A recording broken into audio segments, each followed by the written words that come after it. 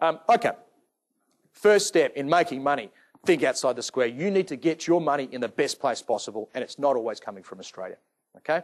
Second step, you need to do some really good technical analysis as well. Because I think these ideas of trying to figure out whether what, what's going to happen in the world, um, I think that hasn't helped a lot of people. I think it creates a lot of confusion. I think believing beyond all hope that uh, X company will continue to be healthy, uh, I think that's kind of gone the way of the dinosaur as well, hasn't it? Because we've seen a lot of companies we thought were blue chips halve in value, haven't we? We've seen a lot of companies we thought were blue chips go bankrupt, haven't we? Yep.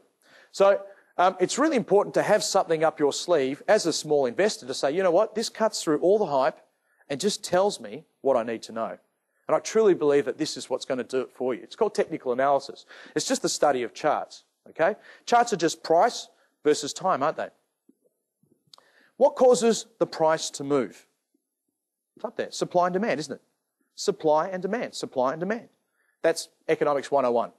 If there's more demand than supply, what is the price going to do? Are we not sure? Let me ask that question again. I want a big response. If there's more demand and less supply, where does the price go? Up. If there's more supply and not enough demand, where does the price go? Loudly. Down, doesn't it? Absolutely. Get involved. I want you to put in some effort today. If you put in the effort, you'll get the reward. All right. So prices go up because of supply and demand.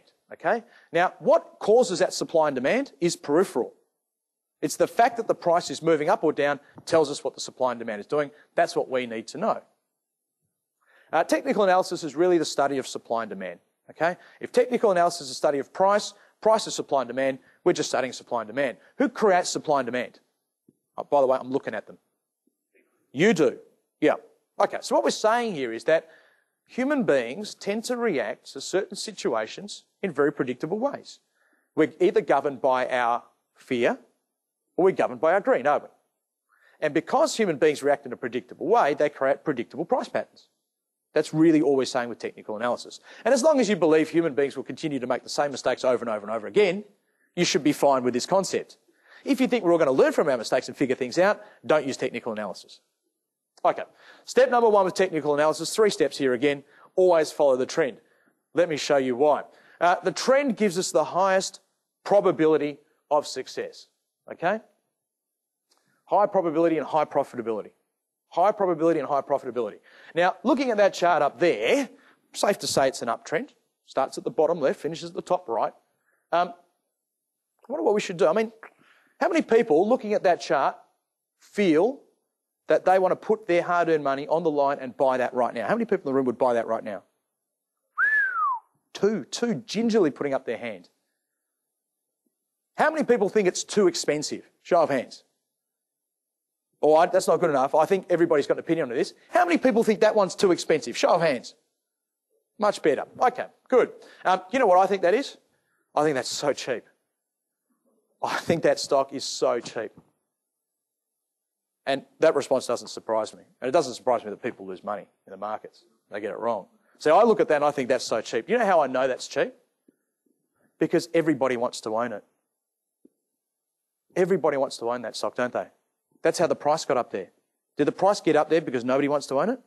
No, the price got up there because there's so much what? Starts with D. There's so much demand. So people who don't have their stock, they are demanding it, aren't they? People who have their stock, are they supplying it? No, they're not. There's no supply. There's no supply, all demand. And if you're not supplying a stock, even after it's gone up that much, you're not supplying it because you think it's cheap. You're demanding it because you think it's cheap, don't you? So what I'm trying to tell you here is that the market, not you, the market thinks that's cheap, don't they? The market thinks that stock's cheap. Yet you just told me it was expensive. I've got a newsflash for you. It doesn't matter what you think, does it? It doesn't matter what you think. It matters what the market thinks. So start to learn how to understand how the market's thinking, isn't it? And that is really cheap. Uh, let's look. That that circle is where it was. I fast forwarded that into time. Look at that. It went from 14 to 30. You, you all thought it was expensive. It went from 30 to 60 in another 18 months. That was really cheap, wasn't it? And the market was telling you it was cheap, yet you said it was expensive. Okay, let's look at another one. What, what's that one? ABC Learning Centres. What's that one trading at at the moment? Zero. What will it be trading at in 12 months' time? Zero. What's the trend there? Your friend. Yeah. Trend is your friend, isn't it? Now, normally people look at that and they say, well, that looks really cheap, doesn't it? That looks really cheap because it was nine bucks, now it's four bucks. It must be really cheap. If I buy this at four bucks and it goes back to nine bucks, I double my money. It's really cheap. It's a good blue chip company.